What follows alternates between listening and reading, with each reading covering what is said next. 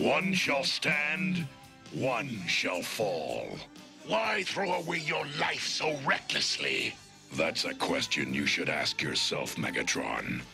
No! I'll crush you with my bare hands! I've got to help Prime! Stay away, lad. That's Prime's